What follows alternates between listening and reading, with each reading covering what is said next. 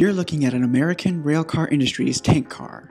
This 100 ton car is unused and it has a capacity of 17,360 gallons. It's thermal protected and it's insulated. More information can be found on our website. Please check it out today. Liquidity Services provides buyers and sellers with the world's most transparent and innovative online marketplaces for surplus assets. We add new inventory weekly with merchandise from government agencies, corporate clients, and commercial businesses. Thank you for visiting Liquidity Services.